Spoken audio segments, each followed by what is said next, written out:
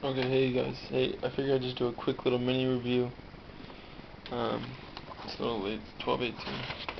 Uh, I've been sitting here for about three and a half hours, four hours, um, playing video games, basically non-stop, and all sorts of stuff. Um, I've been playing MW2, Call of Modern Warfare 2, for y'all that don't know that. Um, let me see, the one thing I have noticed is that on the boom mic, um, people tell me I'm a little quiet, so I speak up a little bit. It doesn't really adjust, to be honest with you, it just kind of goes right back to where it went. Um, I'll give you an update, maybe it's just going to take a little while to break in.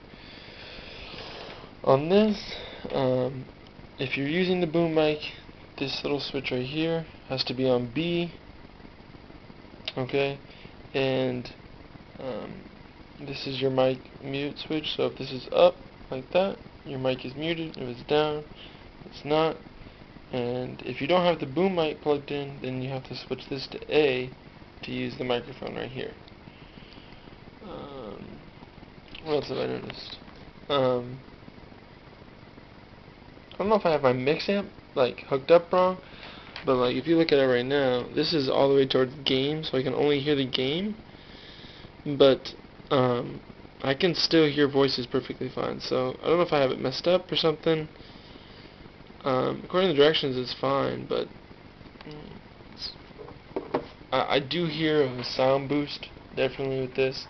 It sounds a lot better to me.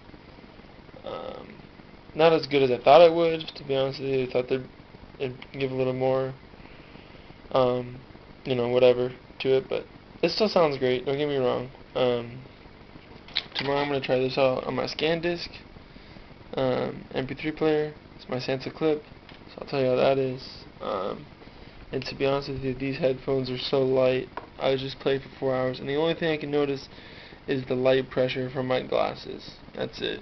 And I also haven't worn glasses in like eight months, so it's a little different to wear glasses.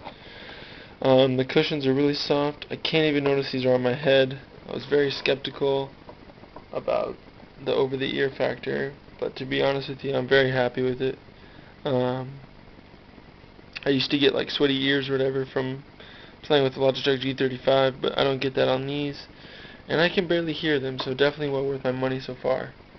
Um, they're nice and light. The one thing I do notice that I wish they would have done is see like this is like a glossy black and up here this is a flat black you really can't tell very well until you actually really look at it but I wish they would have gone with the glossy up on the headband itself.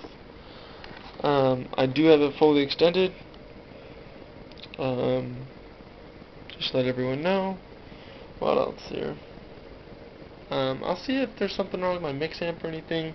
I have to send it back you know because that's just kind of weird. Because if I'm turning the the like this button right here should control my game so if I turn this to straight game I should only hear the game and no voices even if they do talk.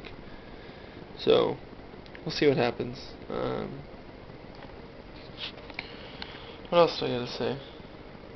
Not much. I'm very happy with this product so far. Um, I'm gonna end up keeping this to be honest with you. Uh, it does everything I wanted to. Because I wanted to. I was looking for a portable, high-end gaming and portable headphones because I don't want to buy both pairs. So this is what I got. So works good for me. All right, guys. Have a good night. Bye bye.